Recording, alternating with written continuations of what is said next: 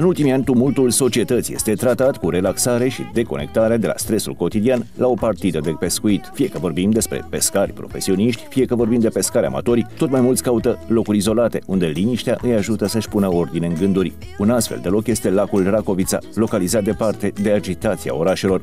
Pe lacul Racovița puteți petrece o zi perfectă alături de familie. Dacă plătiți 50 de lei, puteți sta 6 ore la pescuit și puteți pleca acasă cu până la 3 kg de crap. Iar dacă plătiți 100 de lei, stați toată ziua la pescuit și plecați acasă cu o cantitate de pește dublă. Cei care vor să rămână peste noapte pe lacul Racovița pot închiria căbănuțele, care pentru 24 de ore costă 100 de lei. Ele sunt dotate cu televizor plasmă, avem trei paturi, are 5 persoane în loc, baie, frigider, avem și încălzire, apă caldă, apă rece, Aici nu vin doar cei care au nevoie de momente doar cu ei înșiși, ci și cei care vor să petreacă clipe frumoase alături de familie. Căbănuțele le-am uh, realizat acum 4 ani de zile.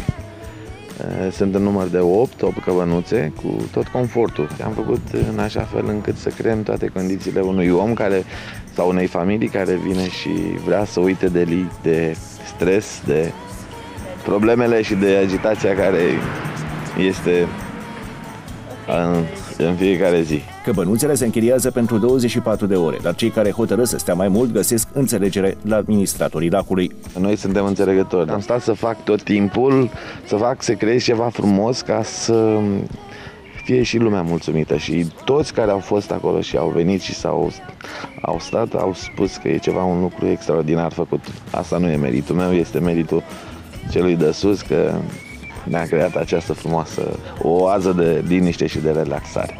Lacul Racovița se întinde pe aproximativ 3 hectare și are o adâncime ce depășește 2 metri. Cei care vin aici beneficiază de peisaje unice. Terasă cu grătar, bănci pe malul lacului, leagăne, se pot bucura de păsări decorative precum păuni și lebede și pot pescui ore întregi în liniștea naturii.